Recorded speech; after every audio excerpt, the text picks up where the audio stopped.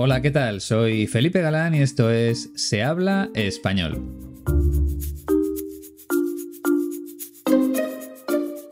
Bienvenido, bienvenido al episodio 202. En esta ocasión vamos a seguir aprendiendo gracias a la voz y a las palabras de Mauricio Macri, que fue presidente de Argentina entre 2015 y 2019.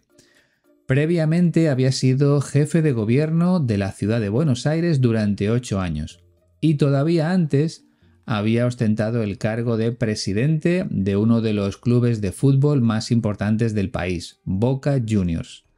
Su fama empezó justo en ese momento porque el fútbol le permitió darse a conocer a nivel público. Pero en la entrevista que vamos a escuchar no habla de eso, sino del secuestro que sufrió en 1991. Luego te daré más detalles. Antes quiero recordarte que los profesores de la Escuela de Español 15TC están a tu disposición para acompañarte en el aprendizaje del idioma. Escuchar estos episodios te va a ayudar a mejorar tu comprensión y a ampliar tu vocabulario, pero la clave siempre es hablar. Y para que todo sea perfecto, necesitas tener a tu lado a una persona nativa que te corrija los errores de manera natural y que te explique los motivos por los que se utiliza un tiempo verbal determinado, una expresión idiomática concreta, o un término coloquial adecuado para una situación de la vida diaria. Todo eso lo vas a encontrar en las clases online de la Escuela de Español 15TC. Todo eso y mucho más, porque la experiencia de sus profesores te va a permitir dar un salto de calidad que no te imaginas. No hay secretos, es cuestión de práctica, así que te recomiendo que empieces cuanto antes. Entra en www.15tc.es y reserva ya tus clases. Y si tienes dudas, ponte en contacto con Iñaki y Sergio en la siguiente dirección de correo electrónico info 15tc.es.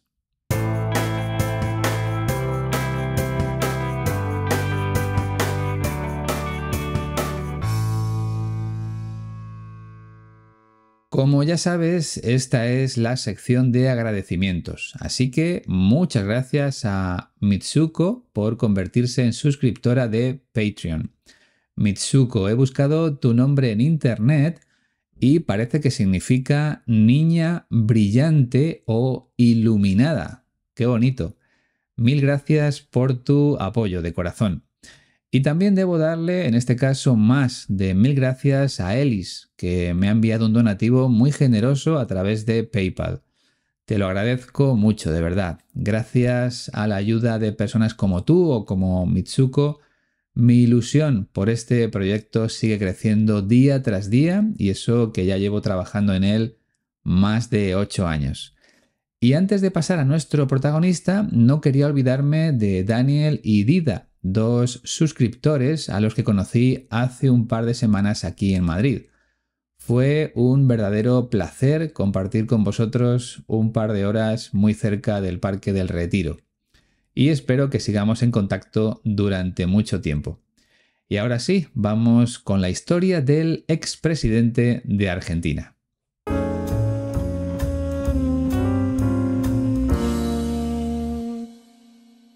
Mauricio Macri nació en la ciudad argentina de Tandil el 8 de febrero de 1959, de modo que cumplirá 65 años dentro de dos meses y medio, más o menos. Como te decía, nació en Tandil, aunque poco después se trasladó con su familia a la capital del país, Buenos Aires. En la universidad estudió ingeniería civil y justo después empezó a trabajar en el grupo de empresas de su padre, Franco Macri, un hombre de origen italiano que llegó a ser uno de los empresarios más importantes de Argentina. Se dedicaba a la construcción, a la industria del automóvil, a los vuelos aéreos, a los alimentos y a algunas cosas más, porque su imperio era enorme. Pues bien, su hijo Mauricio se integró en la dirección de esas empresas, algo lógico porque los negocios suelen pasar de padres a hijos. Como te puedes imaginar, el grupo empresarial de los Macri era una máquina de hacer dinero y eso provocó el suceso más duro de la vida de nuestro protagonista, porque Mauricio Macri fue secuestrado en 1991 durante dos semanas. Su padre tuvo que pagar 6 millones de dólares para que lo dejaran libre, para que lo soltaran. Y esos acontecimientos le cambiaron su manera de pensar. Cuando recuperó su vida normal, se propuso cumplir su verdadero sueño, que no era trabajar con su padre, sino ser el presidente de Boca Juniors, uno de los clubes de fútbol más importantes de Argentina. Y lo consiguió en 1995 después de ganar las elecciones que se organizaron ese año. Bajo su mandato, el equipo logró 17 títulos o campeonatos, tanto nacionales como internacionales. Gracias a su paso por el mundo del fútbol, Mauricio Macri se convirtió en una persona todavía más famosa en Argentina. Y él lo aprovechó para dar el salto a la política. Fundó un partido, fue elegido diputado nacional, luego ejerció de jefe de gobierno de Buenos Aires y finalmente, en 2015 llegó hasta la presidencia del país, en la que permaneció cuatro años. Precisamente hoy, domingo 19 de noviembre, se celebra la segunda vuelta de las elecciones generales en Argentina. Por eso me pareció oportuno elegir como protagonista de este episodio a un antiguo presidente como Mauricio Macri. Y la entrevista que vamos a escuchar se la hicieron en el canal 13 de Argentina. En ella habla del secuestro que sufrió en 1991 y de cómo cambió su vida a partir de ese momento. Si te parece bien, vamos ya con sus palabras. Por cierto, también vas a escuchar alguna pregunta de la periodista. Y recuerda que si eres suscriptor en Patreon, también puedes ver a las personas hablar, porque ya he compartido el vídeo de este episodio en esa plataforma. Venga, vamos con la entrevista.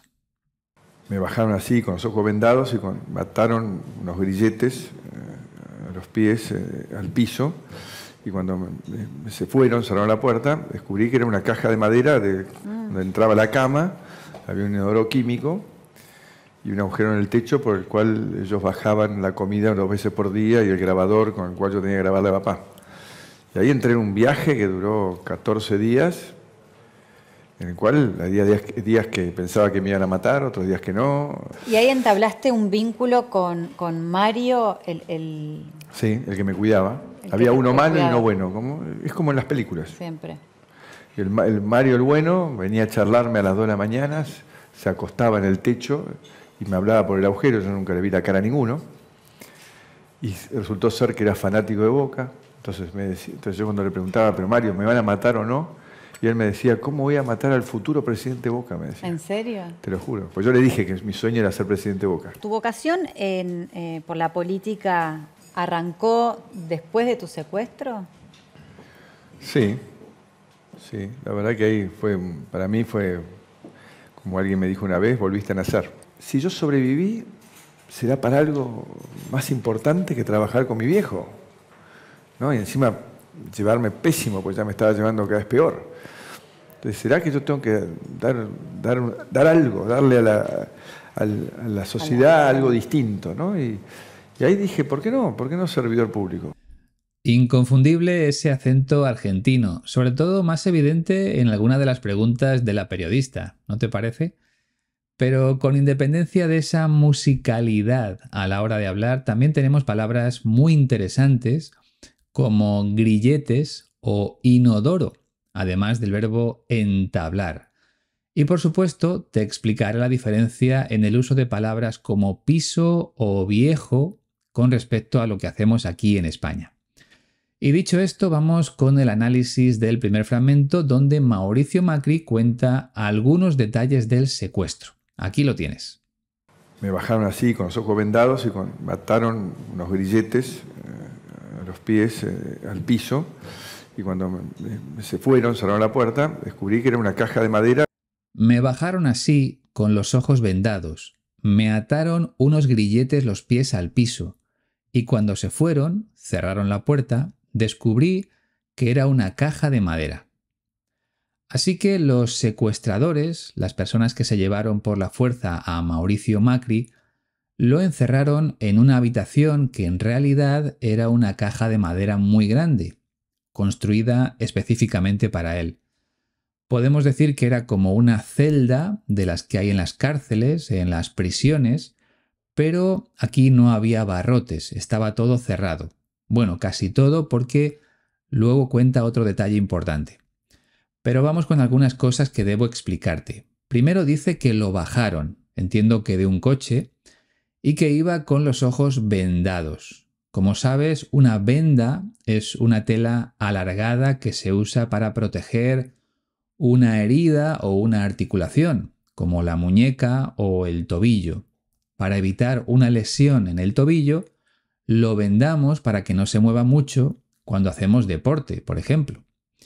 Pues bien, los secuestradores utilizaron una venda alrededor de sus ojos para que Mauricio Macri no viera nada, para que no supiera dónde lo habían llevado. A lo mejor no era exactamente una venda, es posible que utilizaran una tela negra para cubrir sus ojos, pero siempre usamos la expresión tener los ojos vendados. Por otra parte, los grilletes son parecidos a las esposas que utiliza la policía para que los delincuentes no puedan usar las manos. Están hechos de metal y no se pueden abrir a menos que tengas la llave. Pues con Mauricio Macri utilizaron grilletes en los pies para que no se moviera, porque esos grilletes estaban anclados o unidos al suelo. Pero él no dice suelo, sino piso, una palabra que en España usamos para otra cosa, para hablar de un tipo de vivienda dentro de un edificio. Aquí poca gente utiliza piso para referirse al suelo, pero alguna vez se escucha. Bien, vamos a seguir escuchando la descripción del cuarto en el que tuvieron secuestrado a Mauricio Macri. entraba la cama, había un inodoro químico y un agujero en el techo por el cual ellos bajaban la comida dos veces por día y el grabador con el cual yo tenía que grabarle a papá. Donde entraba la cama había un inodoro químico y un agujero en el techo por el cual ellos bajaban la comida dos veces por día, y el grabador con el que yo tenía que grabarle a papá. Mauricio Macri tenía que usar un grabador de voz para mandarle mensajes a su padre. Era una forma de presionar al empresario para que pagara el rescate, cosa que al final hizo. Los secuestradores pensaban que al escuchar la voz de su hijo pidiendo ayuda, pues todo sería más sencillo, como así fue. Nuestro protagonista también nos cuenta que en esa caja de madera donde lo metieron había una cama, un agujero en el techo por donde le bajaban la comida dos veces al día y un inodoro químico. El inodoro es la taza del váter, el lugar donde hacemos pis o a lo mejor otras cosas, dependiendo del momento. La palabra inodoro significa sin olor, que no huele, y es que la forma de la tubería que va por debajo impide que salgan malos olores de la taza del váter, también llamada inodoro. Si no lo sabías, ya has aprendido una cosa nueva. Pero hay más. Seguimos adelante. Y ahí entré en un viaje que duró 14 días en el cual había días, que pensaba que me iban a matar, otros días que no. Y ahí entré en un viaje que duró 14 días, en el cual había días que pensaba que me iban a matar, otros días que no. Así que Mauricio Macri no tenía muy claro que todo fuera a salir bien. Unos días pensaba que el secuestro iba a terminar en asesinato, mientras que otros se convencía a sí mismo de que eso no iba a suceder, de que el único objetivo de los secuestradores era mantenerlo con vida para cobrar el rescate. Afortunadamente para él, esa experiencia solo duró dos semanas. Digo solo porque aquí en España la banda terrorista ETA tuvo secuestrado a un hombre durante más de 500 días. Pero claro, entiendo que para Mauricio Macri esos 14 días serían eternos. A continuación interviene la periodista con una pregunta. ¿Y ahí entablaste un vínculo con, Mario, el, Sí, el que me cuidaba. Y ahí entablaste un vínculo con Mario, el... Sí, el que me cuidaba.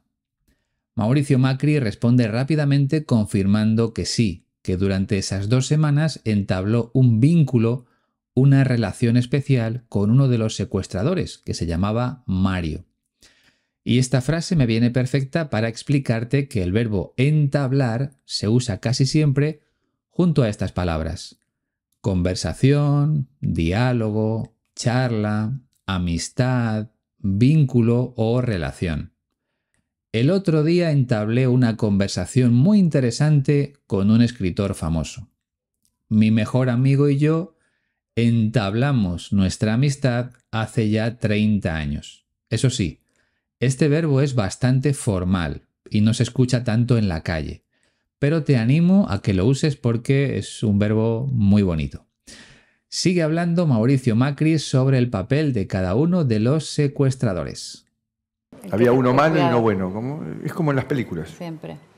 El, Mario el bueno venía a charlarme a las 2 de la mañana, se acostaba en el techo y me hablaba por el agujero, yo nunca le vi la cara a ninguno. Había uno malo y uno bueno, es como en las películas. Mario el bueno venía a charlarme a las 2 de la mañana, se acostaba en el techo y me hablaba por el agujero. Yo nunca le vi la cara a ninguno. Por lo tanto, había dos secuestradores, y Mauricio Macri dice que uno ejercía el papel de malo y otro el papel de bueno. Como dice nuestro protagonista, en las películas suele pasar lo mismo, y no solo con los delincuentes, sino también con los policías. Siempre hay un poli bueno y un poli malo, sobre todo a la hora de interrogar a un sospechoso. El interrogatorio es el momento en el que los policías le hacen preguntas al detenido para saber si es el responsable del delito. Uno de los policías interpreta el papel de duro y el otro intenta suavizar la situación para que el delincuente hable. Pues con Mauricio Macri pasó lo mismo, que uno de sus secuestradores, Mario, le hablaba de madrugada a través del agujero situado en la parte superior de la caja donde estaba encerrado. Con el otro secuestrador no tuvo esa relación tan cercana. ¿Y de qué hablaban Mauricio Macri y Mario? Pues sobre todo de fútbol. Vamos a escucharlo. Y resultó ser que era fanático de Boca. Entonces, me decía, entonces yo cuando le preguntaba, pero Mario, ¿me van a matar o no? Y él me decía, ¿cómo voy a matar al futuro presidente de Boca? Me decía. ¿En serio? Te lo juro. Pues yo le dije que mi sueño era ser presidente de Boca. Y resultó que era fanático de Boca. Entonces yo cuando le preguntaba, pero Mario, ¿me van a matar o no? Y él me decía, ¿cómo voy a matar al futuro presidente de Boca? Me decía, ¿en serio? Te lo juro, porque yo le dije que mi sueño era ser presidente de Boca. Así que durante esas conversaciones entre Mauricio Macri y Mario, su secuestrador, entre comillas, bueno, Macri le contó que su sueño era convertirse en presidente del club de fútbol Boca Juniors. Y curiosamente Mario era un gran aficionado de Boca, de Boca Juniors. Bueno, era más que un aficionado, era un fanático, o sea, una persona capaz de hacer locuras por su equipo de fútbol. Eso es lo que significa ser un fanático. Podemos decir que el fútbol creó una conexión especial entre ellos, entre Mauricio Macri y Mario. Por eso el secuestrador le dijo que no le iba a matar, porque no podía hacerle algo así a una persona que deseaba ser presidente de Boca. Y es que en Argentina el fútbol es como una religión, y encima le juró que no le iba a matar. Jurar es prometer, asegurar algo con total rotundidad. Y los juramentos o las promesas no se pueden romper, hay que cumplirlos. Cuando juramos o prometemos algo delante de otra persona, solemos decir te lo juro o te lo prometo. En el fragmento que acabamos de escuchar, Mauricio Macri utiliza te lo juro. Vamos con otra pregunta de la periodista. ¿Tu vocación eh, por la política arrancó después de tu secuestro? ¿Tu vocación por la política arrancó después de tu secuestro? Es decir, ¿La idea de convertirte en político empezó cuando te liberaron? El verbo arrancar significa empezar o comenzar, pero también se usa cuando queremos poner en marcha un coche, una moto o cualquier otro tipo de vehículo que tenga motor. Por ejemplo, el coche no arranca, debe tener algún problema, parece que se ha estropeado. Tendré que llevarlo al taller. Bien, la pregunta era muy sencilla, de modo que vamos a escuchar la respuesta de Mauricio Macri.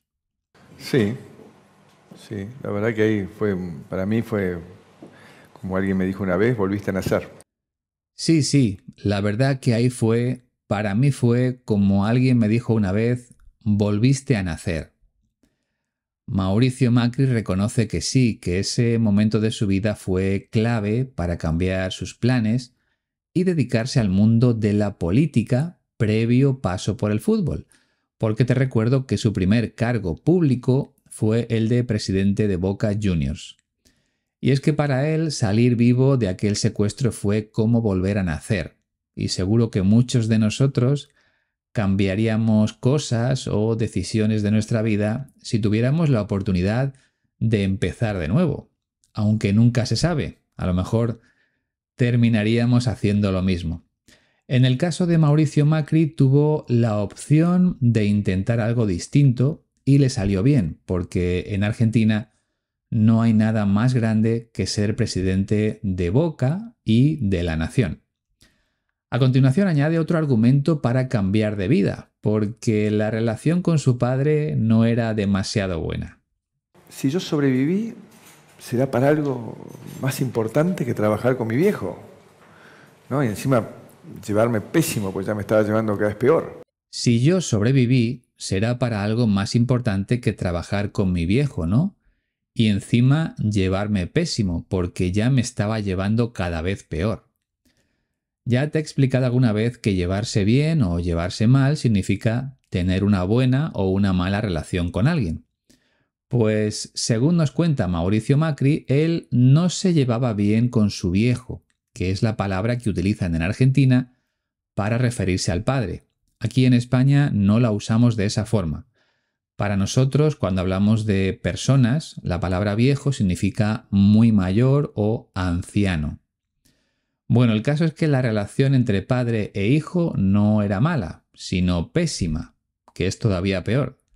Algo pésimo es algo muy malo. Por ejemplo, esta película es pésima, es muy mala. Y Mauricio Macri utiliza ese adjetivo para hablar de la relación que mantenía con su padre. De hecho, esa fue otra de las razones por las que decidió cambiar de vida después del secuestro. Su forma de pensar cambió por completo, como explica en el último fragmento de la entrevista. ¿será que yo tengo que dar, dar, algo, darle a la, sociedad algo distinto? ¿no? Y, y ahí dije, ¿por qué no? ¿Por qué no servidor público?